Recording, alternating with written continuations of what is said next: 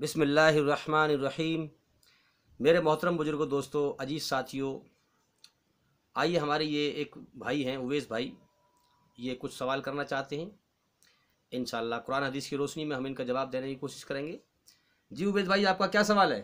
अस्सलाम वालेकुम। वालेकुम सलाम। मोहम्मद दिलजाज साहब मेरा सवाल ये है कि दुनिया में इतने सारे धर्म हैं कोई कुछ कहता है कोई कुछ कहता है।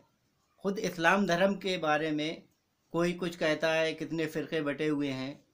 इनमें सच्चाई पर कौन है? माशाल्लाह, बहुत अच्छा सवाल किया है। मैं जवाब दूँगा, आप भी ध्यान लगा के सुने, ताकि अल्लाह की सच्ची राह को पहचान सके। सबसे पहली बात तो यह है कि सच्चाई पर वो इंसान हैं, जो अल्लाह की दी हुई अकल से अल्लाह की सही पहचान करे।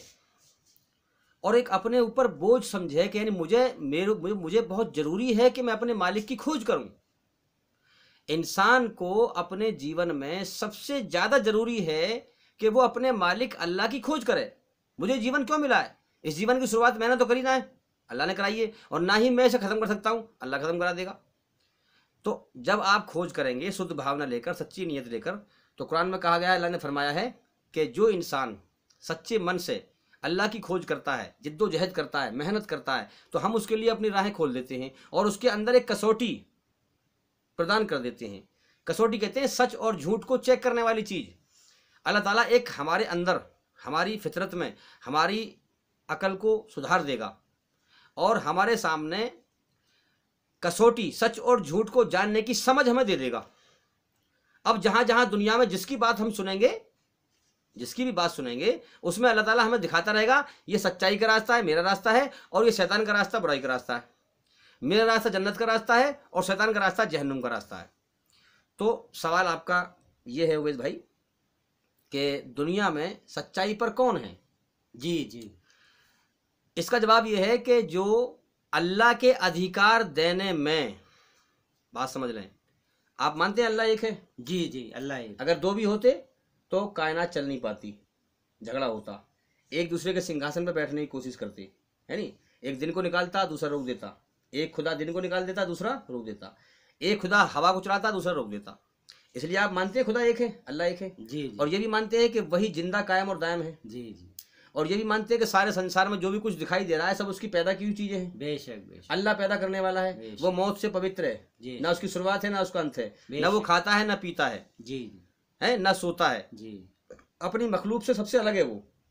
जब सबसे अलग है तो और वही सबकी जरूरतों को पूरी करता है। बेशक मानते हैं कि नहीं? जी जी। वही जरूरतों को पूरी करता है। तो इसी हिसाब से फिर वही सर झुकाने के लायक है। तो मतलब क्या हुआ कि अल्लाह के अधिकार हम अल्लाह को ही दें। अल्लाह के अधिकार किसी और को ना दें। उसकी जात और उसकी सिफात में किसी और उसकी मखलूब को शरीक ना करें। सच्चाई पर वो इंसान है जो अल्लाह के अधिकार देने में धोखाधड़ी नहीं करता। जब तक इस चीज़ पे आदमी गौर ना करेगा कि मैं अपने मालिक की सही से पहचान करूँ, अपने अल्लाह की तरफ़ से सही यकीन ना बनाएगा तोहीद पे, तब तक उसकी नमाज़, रोजा कोई चीज़ कबूल ना होगी और ना आखिरत में उसका बदला मिलेगा उसे। वो सवाब नहीं, बवाल है उसके लिए। जब तक इंसान तोहीद पे ईमान नहीं बनाएगा, अल्लाह की ठीक से पहचान नहीं करेगा, सारी दुनिया के अंदर सारी दुनिया के अंदर, जो सबसे ज़्यादा बिगाड़ फैला हुआ है, वो इसी बात पे फैला हुआ है कि लोग अल्लाह का शरीक ठहराते हैं। इसी बात के झगड़े हैं सब जगह। अल्लाह का शरीक करते हैं, अल्लाह के अधिकार औरों को दे रहे हैं, अल्लाह की जात में, अल्लाह की सिफात में शरीक कर रहे हैं।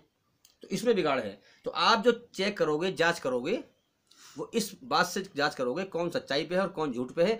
जो अल्लाह के अधिकार देने में धोखाधड़ी नहीं करता, अल्लाह के अधिकार देने में धोखाधड़ी नहीं करता, वो सच्चाई पे है। जो धोखाधड़ी करता है वो सच्चाई पर नहीं है। तो आपका जवाब ये है। आप मेरे जवाब से सहमत हैं? जी जी।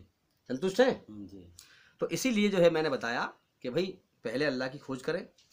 इल्म कोई दवाई की पुड़िया नहीं है आपको हम पिला दें आपको आ जाएगा। इल्म तो सीखना पड़ेगा। इसीलिए आप हमारे चैनल से जुड़े रहें और हमारे चैनल को सब्सक्राइब करें और घंटी दबा दें ताकि जो भी हम नई वीडियो भेजें सबसे पहले आपके पास पहुँचे।